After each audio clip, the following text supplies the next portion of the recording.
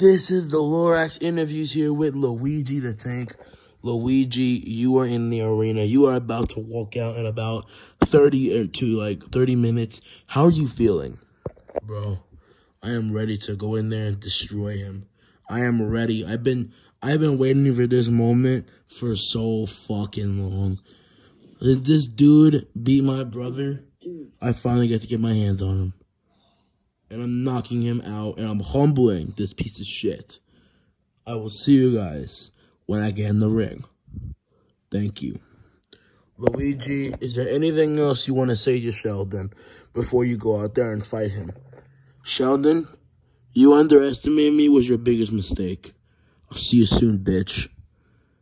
I'm done. I have to go do my final preparations. I'll see you soon. Uh, That was a quick interview.